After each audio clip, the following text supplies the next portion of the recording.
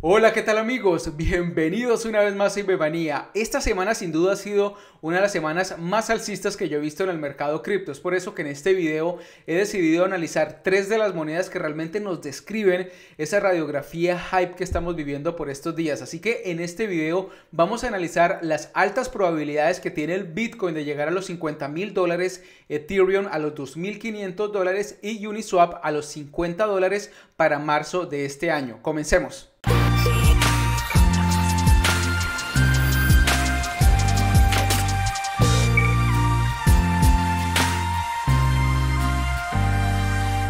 Antes de comenzar quiero hacer un anuncio muy especial. OKEX es una plataforma de intercambio cripto muy segura con la que aquí hemos estado trabajando en anteriores videos e incluso pueden encontrar un tutorial mío para los que están interesados obviamente en aprender un poco de cómo navegar esta plataforma. Es realmente muy fácil.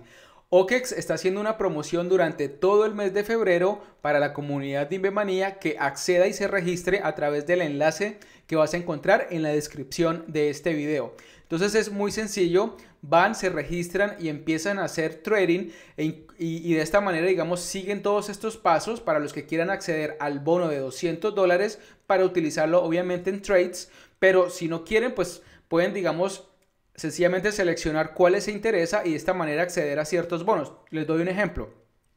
Si depositan eh, mínimo 100 dólares, van a tener un, eh, digamos, un, bono de 20 dólares que obviamente les va a servir para todas las tarifas eh, que implica hacer trading. Entonces realmente es muy sencillo, muy práctico, sencillamente registrándose, repito, el enlace que hay de Invemanía durante todo el mes de febrero van a poder acceder a esta gran promoción. Vamos a comenzar con el Bitcoin. El Bitcoin ha tenido una semana excepcional, ha tenido un crecimiento aproximadamente en su nivel más alto de un 20% y en estos momentos más o menos se ubica en un 17%. Pero aquí la noticia más importante es que el Bitcoin esta semana rompió esa tendencia bajista que llevaba. Recordemos que luego de haber llegado a ese nivel máximo de los 40 mil dólares aproximadamente el 8 de enero comenzó a tener corrección, empezó a tener digamos niveles inferiores cada vez más profundo dibujando esta, este, esta línea de tendencia bajista. Esta semana rompió con mucha fuerza diría yo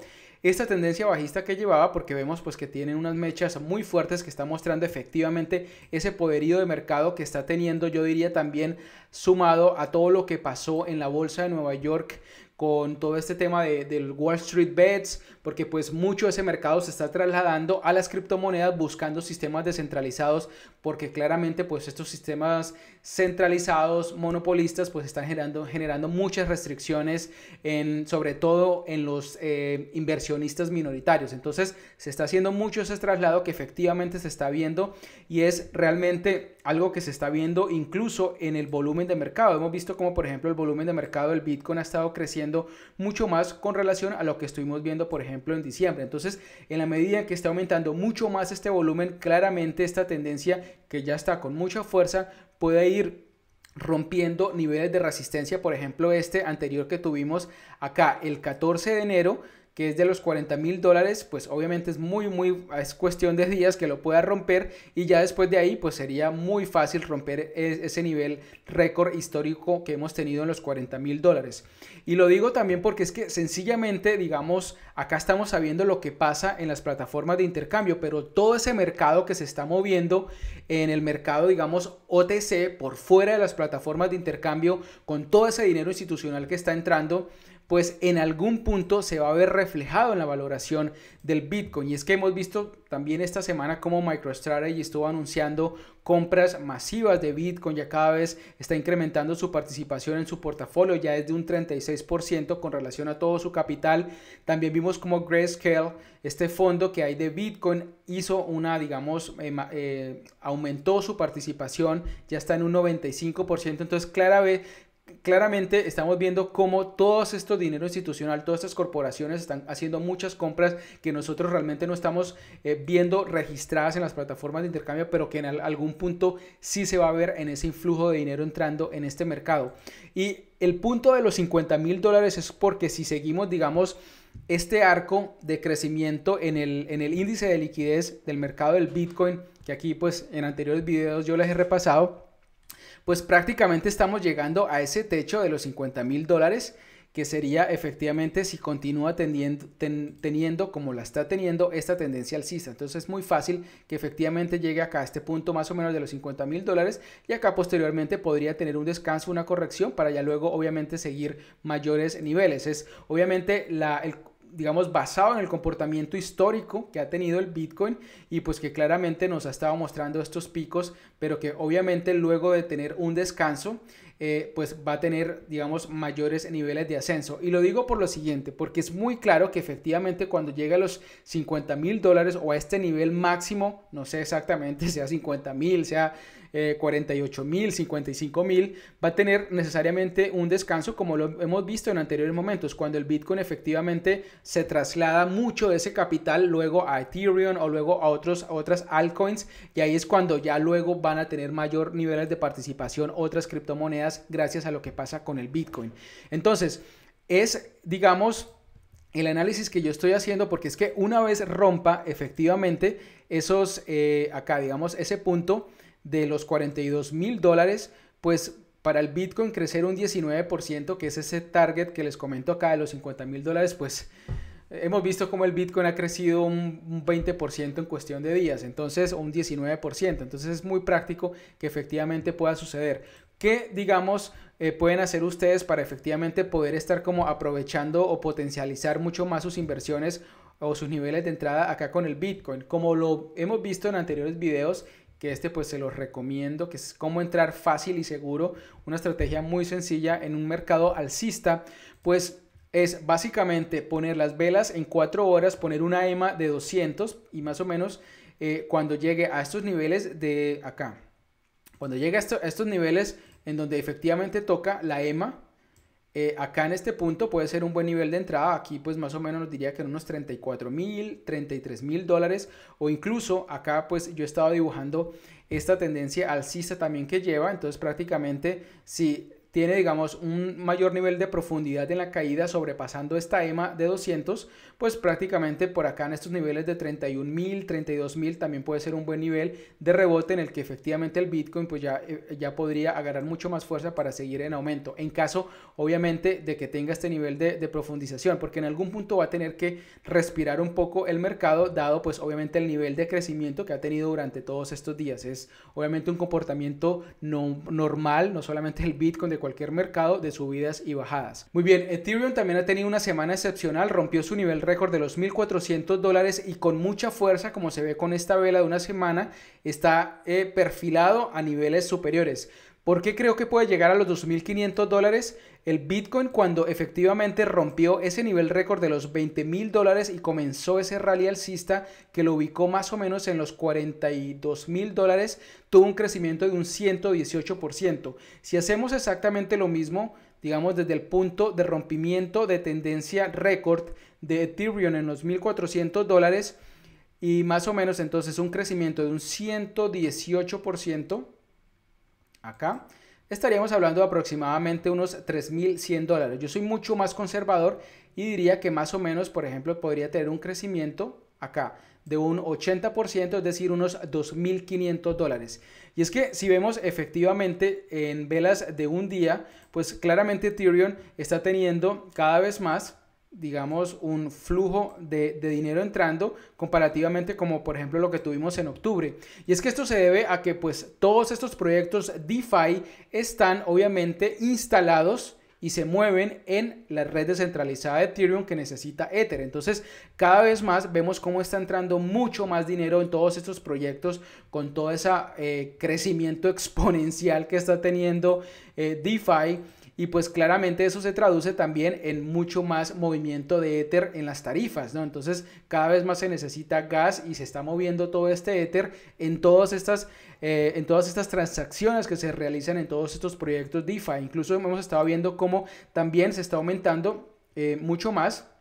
el Ether en sí, digamos, o la capitalización en Ether de todos estos proyectos DeFi. Llegamos en un punto altísimo en septiembre del año pasado, tuvimos, digamos, esta caída y el precio de Ethereum creció, rompió su nivel récord y todavía ni siquiera hemos estado como llegando a ese nivel récord anterior que tuvimos el año pasado. Entonces todavía le falta mucho margen de crecimiento a esta capitalización de mercado que se puede traducir en mayores niveles de valoración en Ethereum en los próximos días. Incluso si lo comparamos con Ethereum, perdón, Ethereum con relación al Bitcoin, pues todavía le falta mucho margen de crecimiento. Es decir, acá todavía ni siquiera todavía tiene todo ese terreno de, crecimiento luego de haber roto este nivel de resistencia acá, más o menos en los 36.582 satoshis. Y pues es obvio que al menos, digamos, luego de romper acá este nivel, todavía le falta eh, este nivel acá de resistencia y obviamente llegar a su nivel récord acá. Entonces, esto, digamos, esta valoración acá, pues obviamente se va a traducir en mayores niveles de valoración con relación al dólar. Entonces, le falta mucho margen eh, que se va a estar obviamente registrando, como les digo, con todo este movimiento DeFi que estamos teniendo y también obviamente con lo que se viene y ese hype que va a generar ya cuando se dé ese lanzamiento oficial de lo que es conocido como Ethereum 2.0. Todas estas mejoras en las capas eh, que va a tener esta red descentralizada. Muy bien, y Uniswap, que es uno de esos proyectos que por estos días está teniendo un hype enorme, pues ya rompió su nivel de resistencia histórico anterior en los 8 dólares y con mucha fuerza, como lo puedes ver, ya se está ubicando más o menos en los 21 dólares. Y pues obviamente va a seguir en este ascenso impresionante en la medida en que cada vez más pues entre más personas interesadas en su plataforma de intercambio descentralizada. Es que más allá digamos de este aspecto técnico de lo que puede crecer, realmente desde los fundamentales este es un proyecto para tener en tu radar y es que Uniswap es una, para tal vez los que no saben, es una plataforma de intercambio descentralizada con un gran volumen de liquidez. Entonces prácticamente es como si fuera un Binance, como si fuera un, eh, eh, market maker de, Forex, en donde con mucha liquidez en el mercado, pero de forma descentralizada, cualquier persona puede, digamos, hacer, crear a través de swaps, de contratos inteligentes, cualquier tipo, digamos, de pares y empezar a hacer trading, empezar a hacer mercados con esa liquidez que precisamente le permite. Entonces,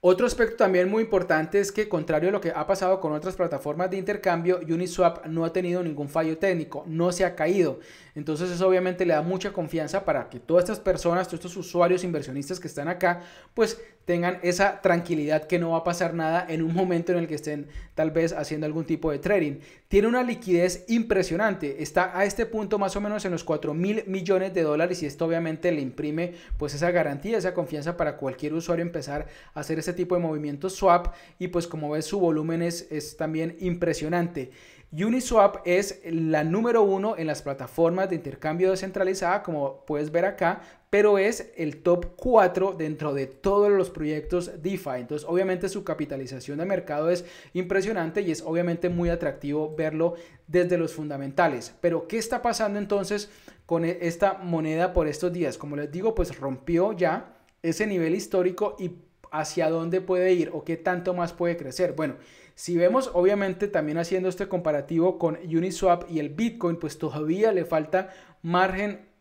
digamos, de, crecimiento para efectivamente llegar a ese nivel de resistencia histórico que ha tenido con relación al Bitcoin. Todavía le falta espacio de crecimiento que claramente lo va a romper en estos días. Y este, digamos, crecimiento se va a traducir obviamente en un mayor nivel de valoración. Ahora, ¿por qué creo que Uniswap puede llegar a los 50 dólares? Bueno, porque es que todavía está en una fase muy temprana a pesar de este rompimiento de tendencia. Hemos visto como, por ejemplo, Ethereum, si lo comparamos, eh, cuando rompió acá, en esta fase muy temprana, en velas de una semana, digamos, aquí estaríamos con Uniswap cuando rompe acá, y pues obviamente tuvo todo este margen de crecimiento. Entonces, si comparamos esta estructura de mercado muy temprana cuando arrancó Ethereum y lo, y lo comparamos en velas de una semana, como ves, es muy parecida a esta estructura, es decir, rompe acá y todavía le falta mucho eh, margen de crecimiento. Ahora, otro punto también muy importante es que como estamos en una fase muy temprana, pues todavía hay mucho trading eh, eh, minorista, mucho inversionista minoritario que no está familiarizado con estos proyectos DeFi y que está interesado en esas plataformas de intercambio descentralizada. Entonces, claramente va a querer acceder a la que es número uno y esto le va a imprimir mayor liquidez a la plataforma Uniswap y por tanto con todos estos fees que están obviamente eh, eh, pagándose eh, constantemente por todas las transacciones, eso le va a imprimir mayor valoración. Y adicionalmente a ese trading minorista que va a haber, pues también con todo esto que ha pasado de Wall Street, que mucho trader, digamos, de acciones, de ese tipo de mercados, está volcándose mirando las criptomonedas, pues va a querer efectivamente buscar en su naturaleza una plataforma descentralizada para hacer su trading como lo es Uniswap. Entonces imagínense ese influjo de dinero adicional, no, no, solamente de los que ya hacen criptomonedas, sino de los que están entrando apenas y esto pues obviamente va a potencializar mucho más ese crecimiento. Entonces, claro, uno ve digamos una, una, un comportamiento de mercado de este tipo y dice, no, pues ya me lo perdí, me perdí, me perdí el, digamos, el, viaje y pues ya lo que viene es una caída. Pero si lo comparamos, digamos, con fases tempranas de otros mercados, pues la verdad es que Uniswap todavía apenas está arrancando y pues es importante que lo estés analizando. Yo no estoy diciendo que entren ya, ya, ya, porque la verdad es que si, por ejemplo, analizamos eh, eh, eh DeFi, eh, pues obviamente es exponencial el crecimiento que está teniendo y en algún punto va a tener que tener un respiro, es decir, va a tener una corrección y esto obviamente también lo va a, sufrir Uniswap. Pero pues como les digo, está teniendo un crecimiento con relación a el Bitcoin también y todavía no ha llegado a su nivel de resistencia. Por tanto, esto también se va a traducir en mayores niveles de ascenso eh, acá. Y lo que yo les recomendaría es también empezar a mirar estos movimientos que está teniendo Uniswap ya mucho más, aquí ya como es mucho más errático y exponencial el crecimiento, yo lo pondría como en velas de 30 minutos con una EMA de 200 y ver, digamos, como ves acá prácticamente en, estos, en estas caídas, prácticamente ir entrando, porque claramente nos están mostrando que son escenarios muy, muy atractivos de entrada para ir incrementando posición de forma segura. Pero claramente este es un proyecto que hay que verlo en el largo plazo porque después de esos 50 dólares, pues todavía podría crecer mucho más. Es que si estamos viendo solo, solo este punto, digamos, Chainlink, que es el proyecto eh, DeFi con mayor nivel de capitalización del mercado de unos 10 mil millones de dólares aproximadamente, y Uniswap con unos 6 mil millones de dólares, pues imagínense, o sea, en la medida en que va creciendo Chainlink, cuando ya llegue a esos 10 mil que tiene eh, Chainlink, pues obviamente va a hacer que todo eso se valore y se refleje en el precio de Uniswap. Así que, pues quería mostrarles más o menos la radiografía de lo que yo estoy viendo, tanto en Bitcoin, Ethereum como Uniswap, como esos tres mercados que nos están mostrando hacia dónde vamos para este año, porque claramente pues están mostrando ese hype y ese crecimiento que van a tener las criptomonedas en general durante todo el 2021, pero repito, vamos a tener en, algún momento, por ejemplo, cuando lleguemos a los 50 mil dólares en Bitcoin o cuando lleguemos a los 2.500 o 3.000 dólares en Ethereum o con Uniswap, por ejemplo, los 50 dólares, algún tipo de corrección, de respiro, de fase de acumulación para obviamente posteriores crecimientos. Así que es muy importante y clave que vean en qué puntos de entrada y no sencillamente botarse ahí y entrar porque pues eh, parece que va a llegar a los 50 dólares. Es mucho mejor potencializar tu inversión en la medida en que eh, digamos ubicas mejor tu nivel de entrada. Muy bien amigos, esto es todo lo que tenía para compartirles en este video. Espero como siempre que haya sido de mucha utilidad y antes de despedirme, pues me gustaría saber cómo están viendo Bitcoin, Ethereum y Uniswap para marzo de este año. ¿Creen que, no sé, que creen que puede caer o creen que puede tener eh, incrementos, pero no a estos niveles que hemos estado hablando y por qué? Ahí voy a estar pues obviamente muy atento a todas tus preguntas, dudas o comentarios en este video o en nuestro grupo público de Telegram arroba comunidad Invemanía. No se olviden también del enlace de OKEX para todos los traders que estén interesados en ganarse este bono de 200 dólares. Muchísimas gracias por la atención y nos vemos en el próximo video. Chao.